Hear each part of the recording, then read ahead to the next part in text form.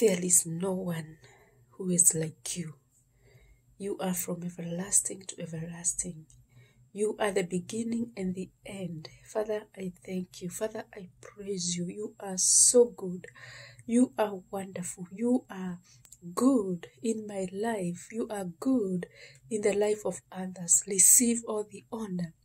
Receive all the glory. I just want to thank God for who He is in my life, who He is in my family's life. I have been thanking God for who He is in my life and the Father He has taken me. I repent all the sins that I have committed. I repent the sin of my family. I repent the sin of my nation. And today I just want to praise you, God, because you are a merciful God.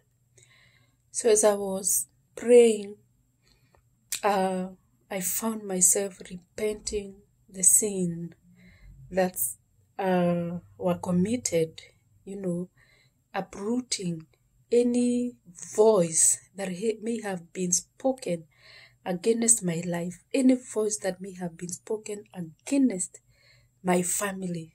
And I have uprooted in the name of Jesus as I also pray for forgiveness of sin. I have analyzed my life and what I have gone through and the fact that my mother passed away um, and she never lived to see this day. And my father had passed away many years ago and leaving my mother to take care of us. And God has been faithful to us.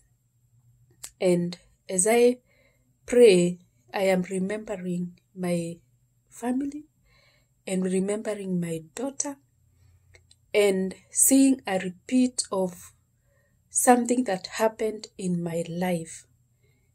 And I am canceling, I am canceling the works of the enemy in the name of Jesus.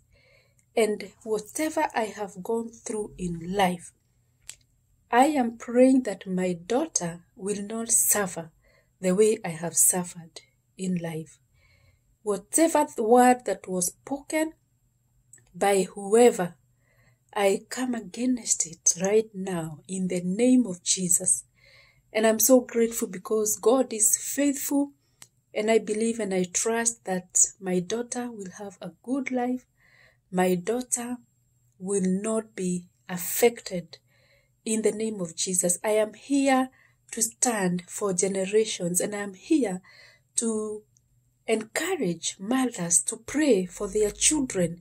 Pray for your children, children. Pray from your gra- great grandchildren, the ones you have not seen, the one that the ones that will come in the future. So if you have gone through issues in your life, I just want to encourage you to stand in the gap and cancel so that whatever you have gone through will not affect your daughter, will not affect your son, will not affect even the relationship of your of your daughter with her spouse to be, your your your son and, and his spouse to be.